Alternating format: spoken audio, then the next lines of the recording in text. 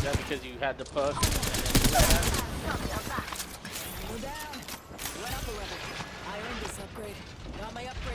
Yes.